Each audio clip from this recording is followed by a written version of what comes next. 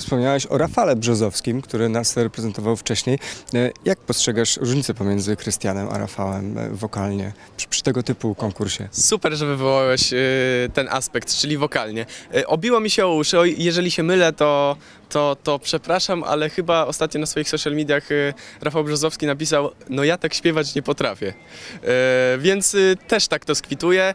Na pewno dużo, dużo lepszym wokalistą jest Krystian, zresztą jest głosem Polski, tak? E, Wygrał y, jedną z edycji Voice'a, e, więc śpiewać potrafi. E, no i też wynik jednak pokazał, e, pokazał to, że, że ludzie też to docenili. Cześć, to Michał Szczygieł. Zapraszam Was do obserwowania kanału Przeambitni, komentowania. Do zobaczenia.